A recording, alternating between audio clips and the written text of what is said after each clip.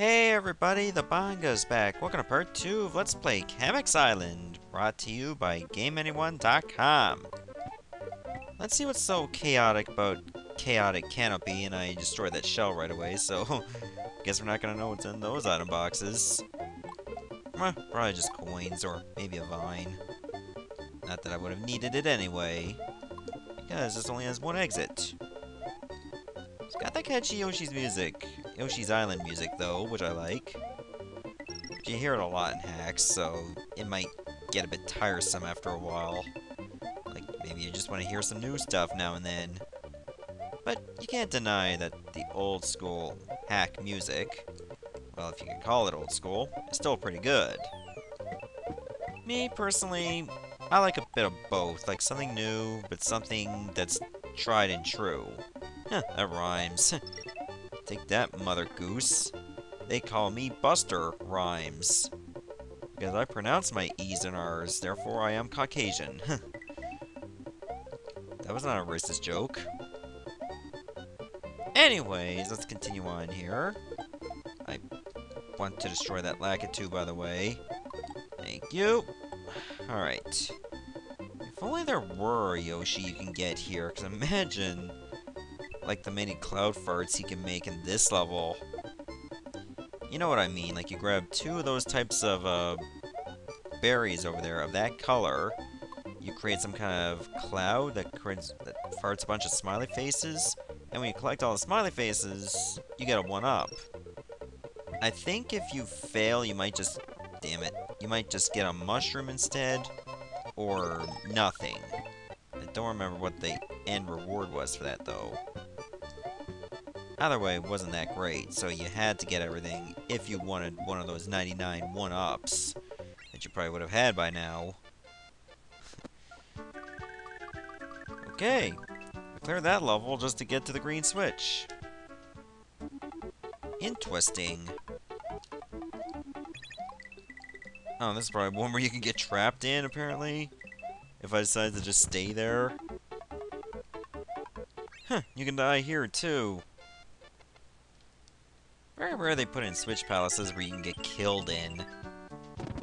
Well, maybe the later ones did in Super Mario World after well, the first one. So let's do Ninji's Night. Sorry, Ninjas, but I'm to take back the night. For plumbers that are of many different ethnic cultures rolled into one. It's their night, not yours. Also, ninjas don't seem to blend in with the night that well. You can still pick them out. It would have been nice if the sky was completely black. Now, Hammer Brothers I hate. More than ninjas. Well, I don't violently hate ninjas, but I used to be part of this group that uh, Chilean Retro Gamer was a part of, well, a big part of. And we had one guy in our group that constantly loved ninjas, that we would actually make fun of him by trying to kill ninjas on purpose. Just for that very reason. He's a cool guy, though. I think uh, his name is Starsims Universe. And had some involvement in Mega Man Unlimited, which is an awesome fan game that I played some time ago but never finished. He didn't play a big role, but he did help out a bit. Which was pretty cool in its own right. Ooh, what's up here? Eh, just a Yoshi coin. I shall be double killing you guys, thank you very much. Oh, that was bad. Likely you don't turn completely small whenever you take a hit. So that does give you a little bit of peace of mind. Might make the hack a bit too easy, though. But I guess it prevents some uh, BS heading your way. So that's a bit of a nice touch. That being said, however, we're doing just fine. But what else is new? Spider Swamp. Okay, those spiders from Super Mario Land. They have the same kind of death animation, too. Overall, we're gonna be okay. even more Super Mario Land enemies. Just mostly spider-themed. Whoa, did not mean to do that, but I'm happy that's how it went down. Also, I don't think I should go in the swamp. I have a feeling I'll die if I do. So I shall try to avoid that. I'm guessing if you kill the enemy and you go off screen before like the squishing animation goes away, that the enemy will just respawn. So that's why it's a good idea to use a fire flower to kill them instantly.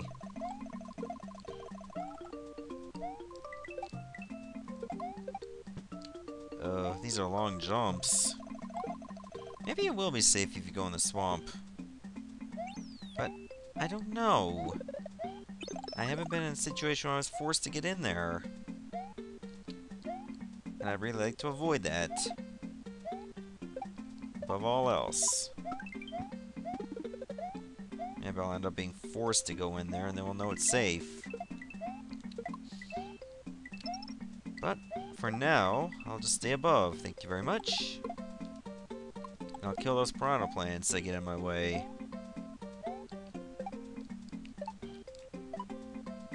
Oh, oh, nope. Almost thought I was jumping on that piranha plant. That would have been bad. And definitely stupid. Hmm. Maybe it is safe. Oh, it's just like quicksand. Okay. Now we know. And knowledge is power. And half the battle. And what old white people fear, so they burn books for no reason. I don't know. Creepy cabin. That sounds like a D-list snuff film. Talk to the smiling blocks of gold. The secrets of this cabin they may hold. Um, okay. Let's read that again.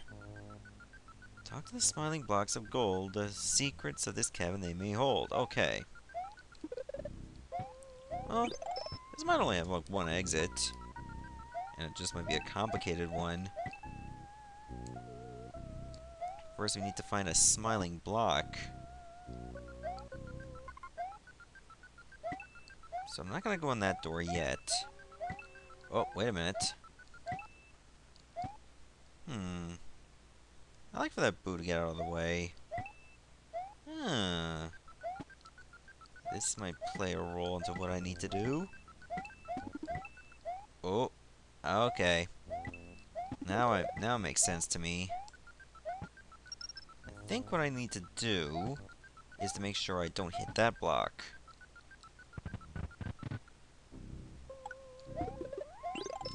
Might make a bit of sense, and uh, don't fall to your death, that also makes sense.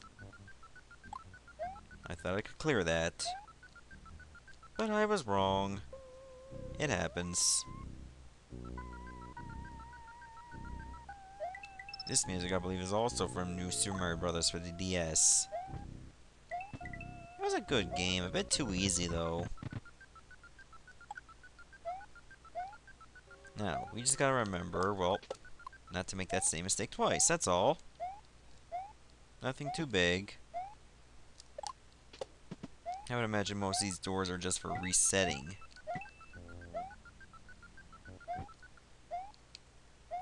And this one. There we go. I'm guessing we just gotta keep going over here, and boom. This might allow us to continue.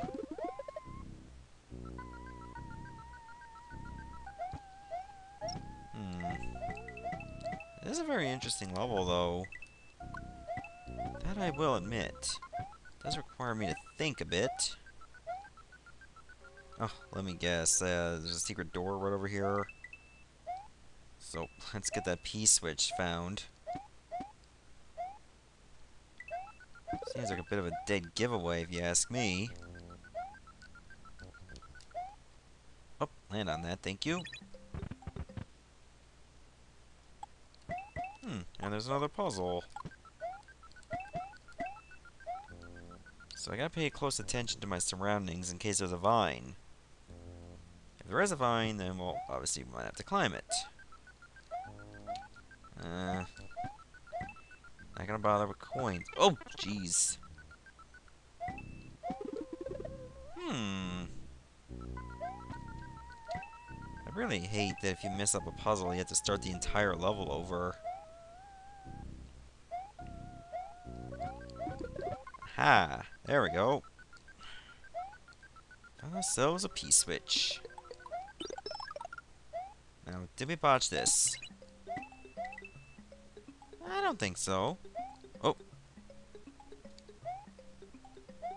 I think we'll do just fine.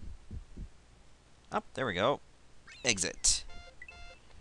I think there was only one exit in that haunted house.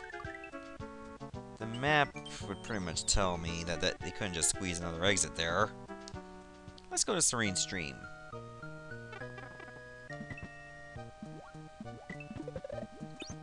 Mm, sounds like a remix of the classic water music in Super Mario Bros. Eh, a little different. Not bad. I'll live with it. And I'll live as long as I'm out of this level. I don't hate water levels to the same level as ColinL112 does, who, by the way, is now a new dad, which is awesome, so congratulations to you and ColinL180 for that. They're not brother and sister, by the way, they're husband and wife, don't get the wrong idea. But they just uh, had their first child not that long ago. So, congrats to you guys, and I still have millions swimming inside me right now. That's pretty much how it is. That being said, however, I'm not ready to be a dad yet. Maybe I will be some point in my life, but for now, I'm just happy with the life that I have at this point. It's not perfect, but hey, Still able to entertain you guys. Wouldn't have it any other way. So, let's get back to the game. Oh, I already got fire flowers. I noticed that's the only power-up you get in this hack. I've never seen a feather, I've never seen Yoshi. In fact, I don't think I've ever even seen a star. Where have they been at? I mean, I saw P-switches of both colors, but still. They're not really power-ups. They're just part of a puzzle. That's it. Also, none of these pipes you can even go in. There's so many of them. Like, seriously, can I go in at least one of them? You're, you're starting to tease me, game. I don't like that. It's rude. Not even this one. Think because it was guarded, you could. I practically committed aquatic genocide in this level. Did I kill almost every single fish? I'm pretty sure I did. now, let's move on to the fortress. Reznor's Fort. Not the same dude from Nine Inch Nails. That's another guy. He'd be too good for a fort. He would have a loft. Moving on. Okay, this could be a bit tricky. Never mind. I didn't think you could get to the other side of that from that angle.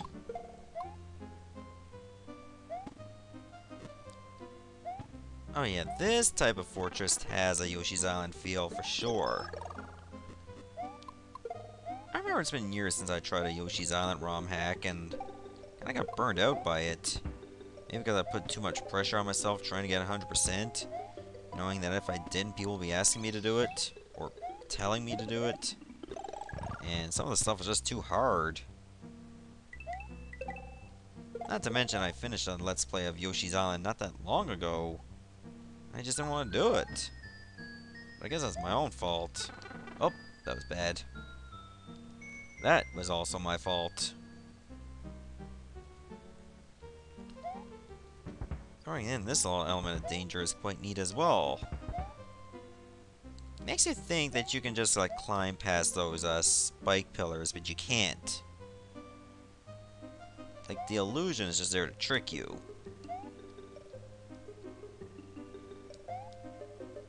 And the rest of this is not too bad.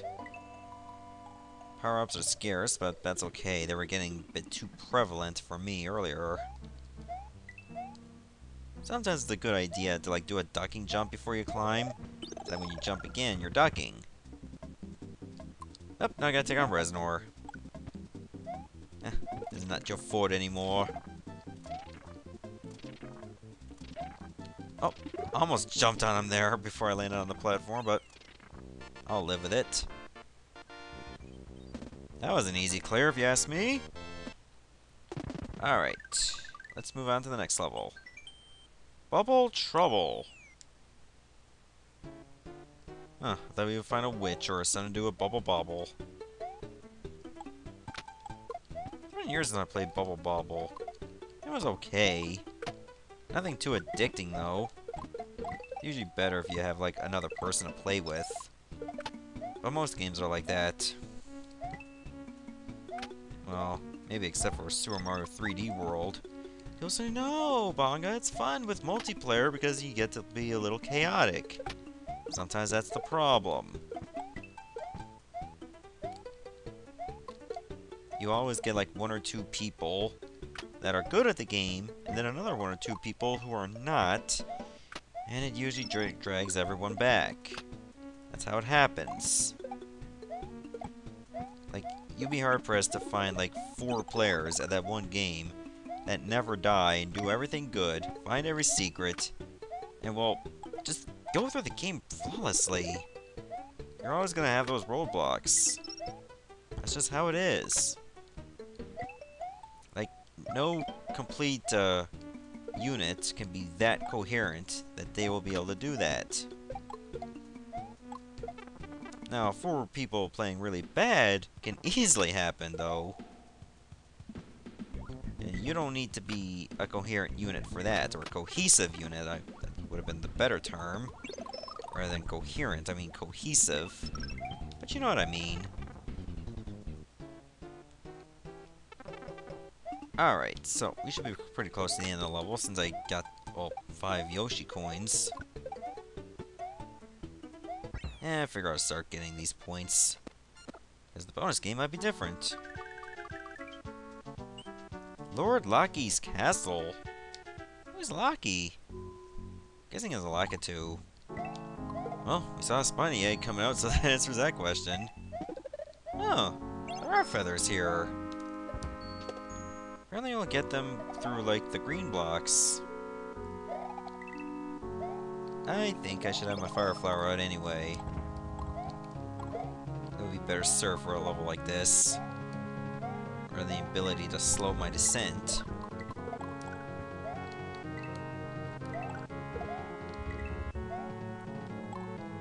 Okay, I'm not seeing any regular Lakitus, just spiny eggs, that's it. Okay, so now we're seeing feathers. I wonder where they've been at. Whoa. Good thing I caught on to that. Or that thing would have caught on to me. And that would have been bad for business. Business of staying alive. Nothing to do with the Bee Gees, by the way.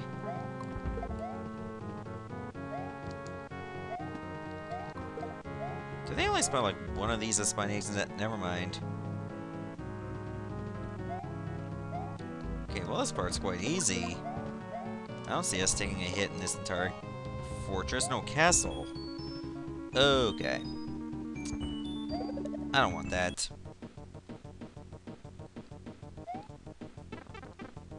Oh, you're gonna be like that, eh? Oh, that's not a problem. I mean, yeah, the first hit was a bit of BS, but still. Oh, sorry, I hit my uh, mic there by accident. Peer pressure. That reminds me of a cool spot. They had a level named exactly like that. I think we can do one level in that. Oh, I saw that coconut. Why does this music sound so Mega Man-ish? Yeah, I figure those things you can't really jump on safely. Not without spin jump. Yeah, I don't think this- whoa! This is from Mega Man or anything. You know when the coconuts fall like that, they remind me of Adventure Island 2 and 3? Those were the days. Those games were awesome.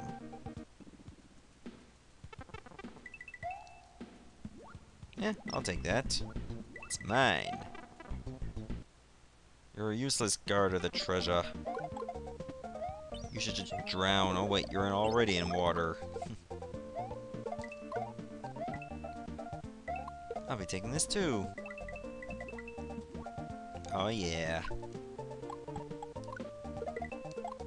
Maybe people would rather see me do hacks of other types of games because they find when I do Super Mario World hacks, get a bit too easy for me sometimes. So I can understand your sentiment there. I mean, the last non-Super Mario World hack I did was probably a Mega Man hack. What was it, Mega Man 6? Yeah. I did stream a Mega Man 4 hack once. Never finished it, I found it a bit too hard. Sometimes when you try, try to do too much in a game, it gets a bit overwhelming. Oh, too bad I can't grab those. Uh, I would have liked to reach that. Eh, maybe I can. So I'll just do that for shits and giggles. Heh, fooled you, didn't I?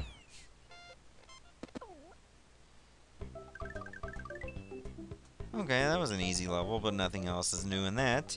So, we'll stop the video right here. Next episode, we'll go to Lakitu's Island. Goodbye, everyone. Thanks for watching.